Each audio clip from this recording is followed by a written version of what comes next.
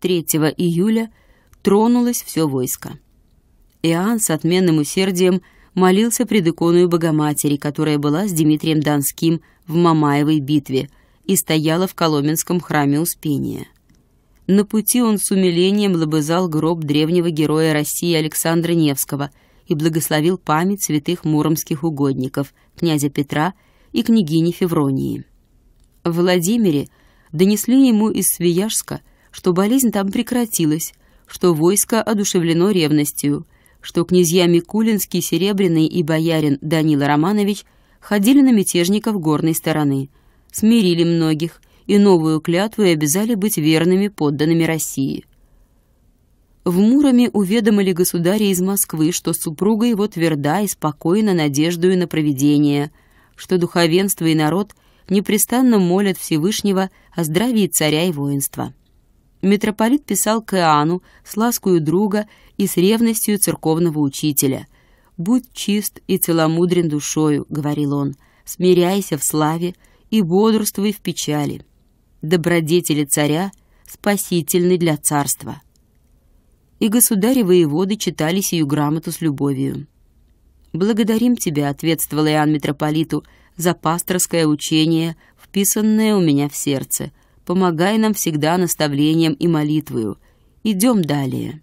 Да сподобит нас Господь возвратиться с миром для христиан.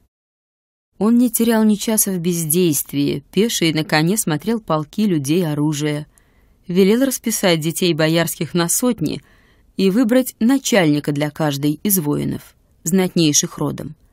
Отпустил Шикалея в судах Казани с князем Петром Булгаковым и стрельцами — послал дружину Ертаульную наводить мосты.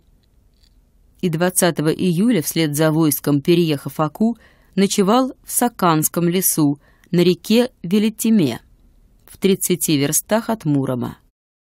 Второй стан был на Шиликше, третий — под Саканским городищем.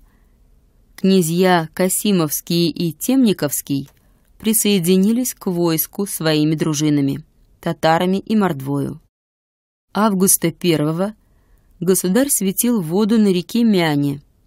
В следующий день войско переправилось за Алатырь и 4 августа с радостью увидело на берегах Суры полки князей Мстиславского, Щенятева, Курбского, Хилкова.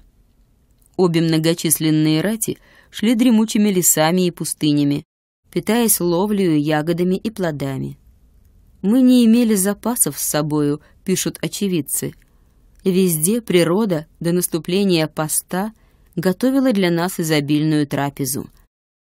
Лоси являлись стадами, рыбы толпились в реках, птицы сами падали на землю пред нами. Тут у Баранчеева городища ждали царя послы свияжские и черемисские с донесением, что весь правый берег Волги ему повинуется в тишине и мире. Мятежники раскаялись и царь в знак милости обедал с их старейшинами. Они клялись загладить вину свою, очистили путь для войска в местах тесных, навели мосты на реках, хотели усердно служить нам мечом под Казанью. 6 августа Иоанн на речке Кивате слушал литургию и причастился святых тайн. 11 августа воеводы Свияжские встретили государя с конницей и пехотою. Они шли тремя полками — в первом князь Александр Горбатый и вельможа Данил Романович, во втором князья Симеон Микулинский и Петр Серебряный Оболенский с детьми боярскими, в третьем — казаки и горные жители, черемисы с чувашами. Царь приветствовал и воевод, и воинов, числом более двадцати тысяч, звал их к руке, говорил с ними, хвалил за устройство и мужество, угостил всех на лугу Бейском — сановники, рядовые обедали под наметами шатров.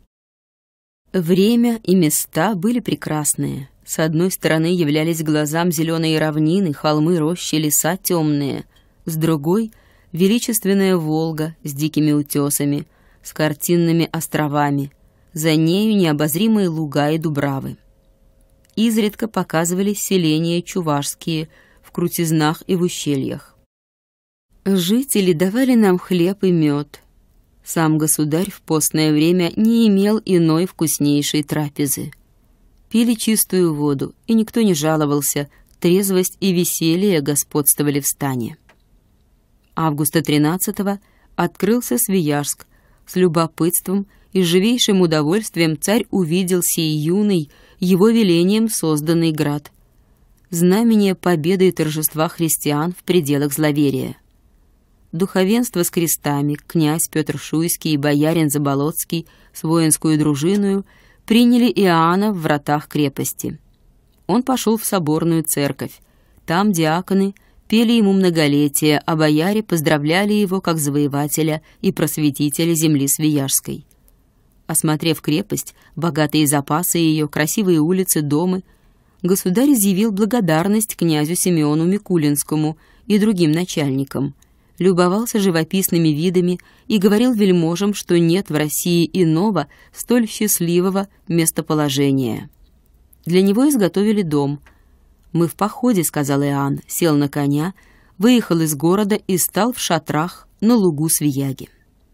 Войско, утружденное путем, надеялось отдохнуть среди изобилия и приятностей сего нового места, куда съехалось множество купцов из Москвы, Ярославля, Нижнего со всякими товарами. Суда за судами входили в пристань, берег обратился в гостиный двор. На песке в шалашах раскладывались драгоценности европейской и азиатской торговли. Люди знатные и богатые нашли там свои запасы, доставленные Волгою.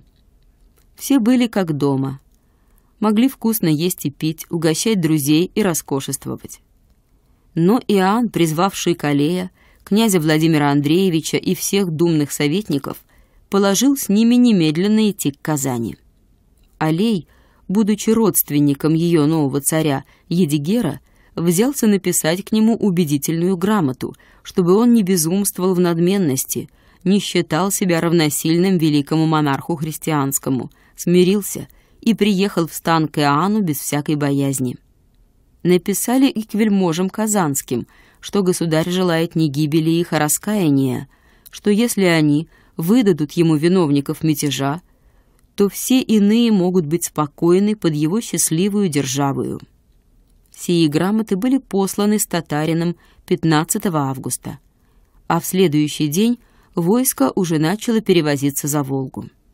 Приступая к описанию достопамятной осады Казанской, заметим, что она вместе с Мамаевой битвою до самых наших времен живет в памяти народа как славнейший подвиг древности – известный всем россиянам и в чертогах, и в хижинах. Два обстоятельства дали ей сию чрезвычайную знаменитость. Она была первым нашим правильным опытом в искусстве брать укрепленные места. И защитники ее показали мужество удивительное, редкое, отчаяние истинно великодушное, так что победу купили мы весьма дорогую ценою. Быв готовы мирно поддаться Иоанну, чтобы избавиться от лютости Шикалеевой, они в течение пяти месяцев имели время размыслить о следствиях.